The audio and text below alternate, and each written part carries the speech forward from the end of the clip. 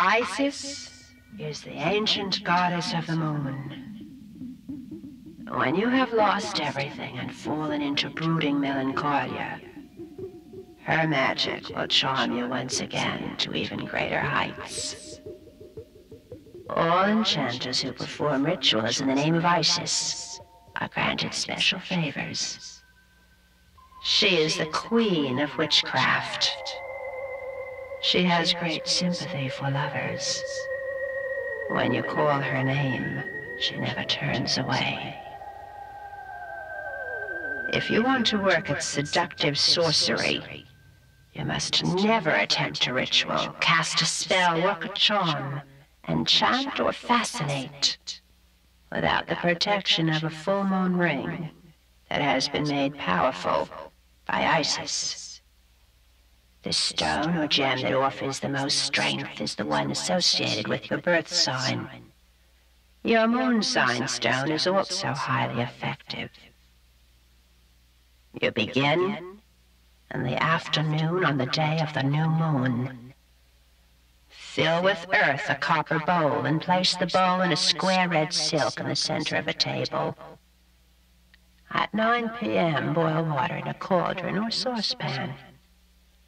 Cook your ring in the boiling water for nine full minutes. And while the ring cools, place nine white candles all around the copper bowl. Light the candles. Let them blaze. They will instantly act as agents and purify the earth that is inside the copper bowl. And when the earth is purified and the ring is cooked, bury it deep inside the bowl. Let the candles flame brightly for 90 minutes. And then sprinkle three drops of olive oil all over the copper bowl. And three times chant. In the name of Isis, goddess of the moon. I offer my energies as a gift to the cosmos.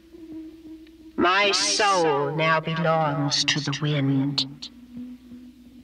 I am the cosmos.